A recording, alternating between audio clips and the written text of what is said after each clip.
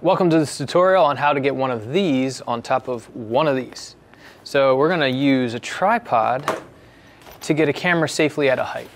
And um, it's one of the most important safety tips that we go over in the program. Uh, equipment can be pretty expensive at a height, so we're talking about maybe like $2,000 ish on a top of a tripod that all you all that happens is a single screw thread goes up into the camera body. So um, we, we just want to make sure that you understand how to get it up.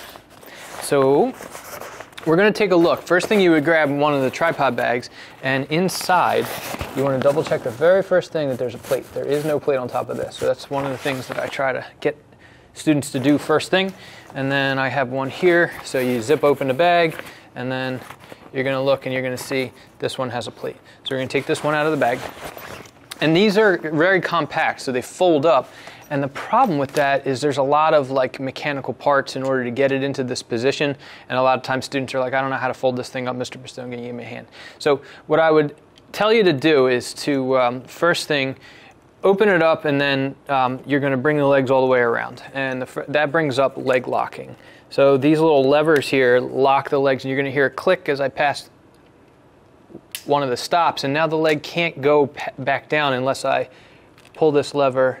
So I had to, I couldn't pull the lever, it's kind of stuck, so I pushed the leg back and pull the lever and now I can go back down. So little tips like that, you know, you might be stuck and like, I don't know what to do and you shouldn't really force parts. Um, that might be a problem. So um, let it go all the way around to the fullest up position with all the legs, right? And now the tripod head versus the tripod legs. Um, we're going to put the head at the top and the legs down to the bottom. And then what I see students do is like open up the tripod and then start working with the legs. Now when you do that, if you open up these levers, so if you look at this, it's just a flips open kind of lever and then the leg will telescope out and it's a little stiff, so I have to pull a little bit. Wow, that's really stiff. Um, there might be something in there like dirt or something. So um, now once I start opening these levers and then closing the levers and locking, now see how there's a distance between where I have to kind of like reach. And if I'm holding up here and uh, like one's all the way down on the floor, and I, I see students sometimes doing these like really weird, uh, not ergonomic positions. So what I would recommend is put the legs all close together. So all these leg locks are right next to each other. And then we're gonna open up all three, all three, and all three, I got one down the bottom there, and then use gravity to let everything fall and open. Now some of them are stuck, you might have a little issue, but you know, just pull it so that they're all the way to the bottom. And now if I bring this all the way up, if you look, these three are at the same distance. So that means when I open up the tripod legs, it's going to be level. So if you have these all kinds of different lengths, then the tripod's not going to stand correctly. So Get them all fully down, and then while the legs are still together, you can almost like wrap your hand around and close these leg locks. So each stack of leg locks, closing them, and now when I open this, it'll be at the height. So this is pretty much level. Um, and then on the tripod head itself, there's a bunch of bubble levels. So let's talk a little bit about the head. Um, before I, well, actually, before I go any further, there's this vertical column. So this thing gets up at a height, and then most of the time the goal is to get the camera at eye level. So this is actually not a bad height for me, uh, but this is telescoped all the way up at the, the highest length. There's a, a, a, rotating, if I go here and I lefty loosey, righty tighty, so I'm lefty loosey here. Um, if I loosen this up, this thing can slide up and down. Um, so, you know, depending on the height of your subject, you might have to be mounting the camera all the way on the ground. It, it just depends on the shot you're going for. So I'm going to go up to this height, and I'm going to spin this all the way tight. And now this is the highest that this tripod can go. Now we have tripods that can go way higher. We have um, different rigs that you can put on C-stands to make them go higher. This one is kind of for like most general use, lightweight use, getting out and around. Um, and it's got some features in the he head, excuse me, that we're going to talk about. So uh, um, the head now, it, this is one of the more complicated heads that we've had in a video program. So bear with me as I get through it. Um, this comes folded up. So this is your pan handle. Um, and then there's another handle here that will give you um, tilting so you can go from like a sideways position to a vertical position if you're doing vertical content. So um, we're going to kind of get through it uh, one step at a time here. So the first thing I would do when I pull this thing out is there's a lever on the side here. So you're going to flip that lever, lever open and then the pan handle will come out and then you flip the lever closed. So now the pan handle is like a 90 degree angle and the pan handle acts as a lock as well. So it's righty tighty, lefty loosey. So if I lefty loosey, now I can, this would be tilting up and down. And then um, over here, this is another uh, lever that gets it from horizontal to vertical. So we're currently in vertical. So I'm going to loosen this lever here, so lefty loosey, and then I'm going to go to my almost flat position. So lefty loosey here, lefty loosey here, and you can kind of move this guy around. And then there's one more that's hidden from camera right now. We have this lever here. This is the pan lock. So if you lefty loosey, and it's really tight. So lefty loosey, and now we can pan and rotate. So you always have to pay attention to the locks. You always want to lock down when your camera is unattended. And really, you never want to leave the camera at a height for a long period of time. Someone would bump the tripod and knock the camera over. So um, what I would say is just like lock all these when you're hands off. And when you need to get hands on, go ahead and unlock and you know, do your operation and you know, relock when you, when you don't need to. So just recap of all those. We have the pan lock down here, so that's loosening so you can go left to right.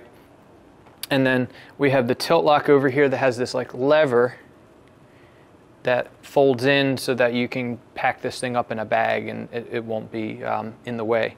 So we got to open it up and then you got this left and now you can tilt up and down. So left and right pan, up and down, tilt, and then lock, lock, and now it's not moving. And then this last one here is if you wanted to go vertical versus horizontal. And you can kind of set these in all different configurations. Um, and then on it, there's these bubble levels. So you want to pay attention to a bubble level, and if that's level, put the bubble right in the middle, then you'll, you'll notice that you uh, when you pan, you'll have like uh, a balanced horizon line. So you don't want to be kind of like lopsided. So We'll set it up kind of level. And then now let's talk about the plate and mounting a camera. So this is the last point. This is where the safety stuff comes in. Um, this tripod has a side knob. So you can go, let's count it. So if I'm fully tight with the plate, it's one half turn, two half turns. Two half turns will get you off. Uh, what you want to avoid is spin, spin, spin, spin, spin, spin, spin, spin, spin, spin, spin, spin, spin, and then this thing falls off uh, and there's a spring inside of there, and that can you know disappear in grass. So um, what I would recommend is just cracking things just loose, and if it doesn't work, one more just loose, and then the thing comes off. So here's a tripod plate. So there's a screw that goes into the bottom of the camera. There's threading on the bottom of the camera, and then on this side there's this lever, and then you can kind of rotate the lever so that it spins up into the camera body. And then the one last thing that I'll show, see how close I can get. So there's a little arrow here that says lens. I don't know if you can see that. So you always want to pay attention to any tripod plate that you grab. Uh, it's going to have an arrow, and then you want to put that towards the lens. So here's the camera, and on the bottom of the camera there's threading, and then you want to put the lens indicator up towards where the lens is, and then fold that little tab out, and then you can one, two, three, four, kind of screw, and now it's tight. And now my lens is pointing in the right direction. I'm to fold that guy back in. And then on the sides here, if you look at the shape, there's these like wedges. So if I put the camera down, it's kind of like this. And then the same thing, if you look at the shape of the tripod head, there's these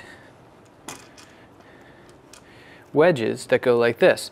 So that trapezoid kind of shape, we're going to get the wedge in and then on the side here, I spun this way out, so I got to spin it back in. One, two, three, four, five. You know, it should only be two, and then it'll be it'll be locked.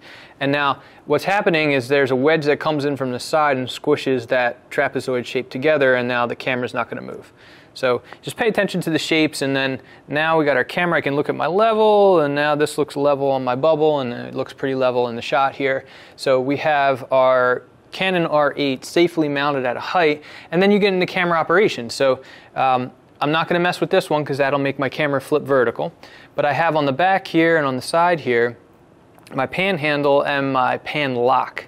So I'm going to unlock so I can pan. That's left and right camera motion. So you want to do really smooth, slow, steady pans. Um, all at the same speed. That's really hard to do. It's almost like playing a video game. It requires some fine motor skills. So um, panning and then tilting, you have to unlock. And again, it's lefty-loosey, and now we can tilt the camera. So if you're looking up or looking down or looking left or looking right, you have panning and tilting unlocked. And then when you're not using the camera, you want to lock these up, righty-tighty, and now this thing's not going to move. And then we can get our camera back off.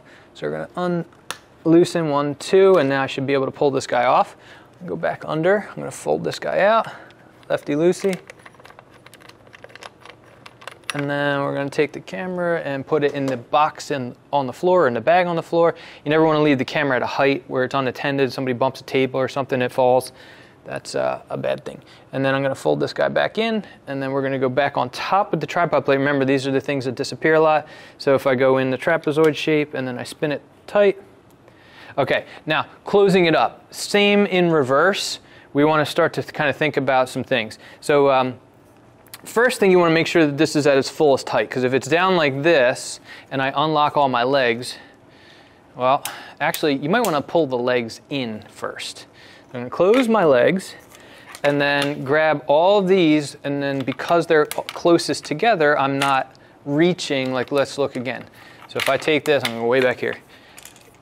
And these are all out and I go and I gotta do one, I gotta do two, and I gotta come over here, and I gotta come all the way out here, and it's just one at a time like that. It's not very ergonomic. So we'll put them all together and unlock, unlock, unlock, and then flip it over, and then it basically shuts except this one that's a little stuck.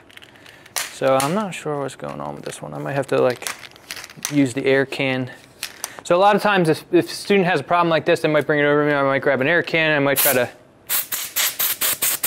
blow any of the dirt kind of stuff that might be stuck. Or there, this might be a little bit too tight. So sometimes there's an adjustment screw on the side. So this one that's like the sticky one, I might take the Allen wrench and they have like a star bit. So it's kind of like not an Allen wrench, it's like a star wrench and then just loosen up the uh,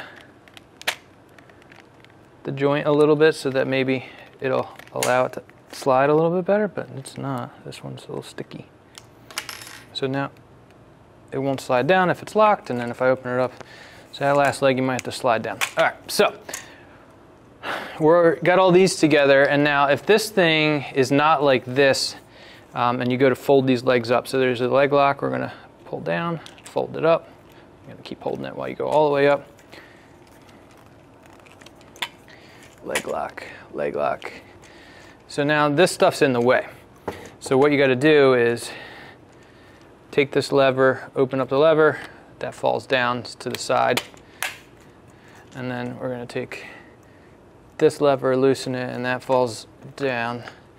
And now we can kind of tuck all this stuff in as tight as it'll go. So you got to really like maneuver some of this stuff out of the way. I had to like rotate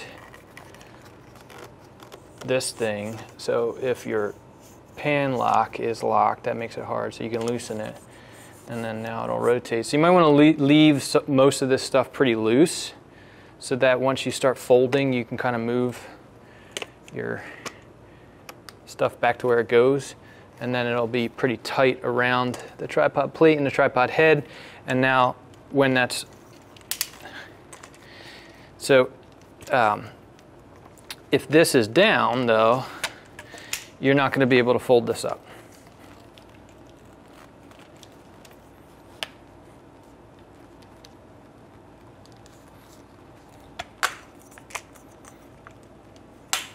So then you have this thing kind of like sticking out and then it won't fit in the bag. So you got to make sure that the pedestal is all the way open.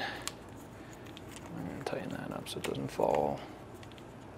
And then these things collapse all around the tripod head, and then I can get it back into the bag for transport.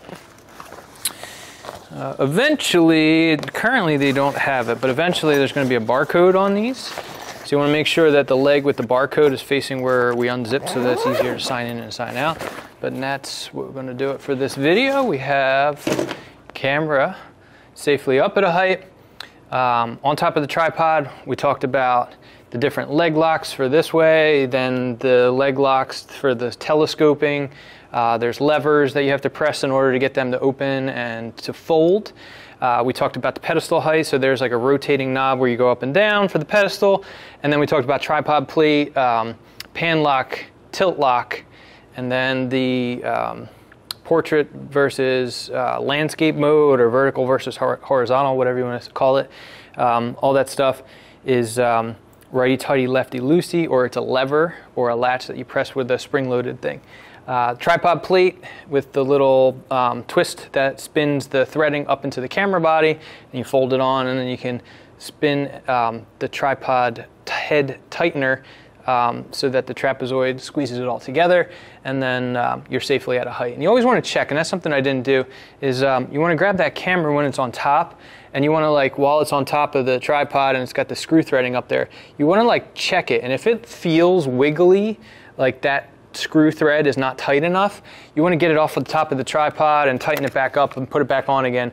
You never want to trust the threading and the camera at a height. So you always want to just double check that stuff because this is about 2,000 bucks, something like that, especially once you put, start putting some more expensive lenses, audio equipment, and all kind of tethers on top of the camera.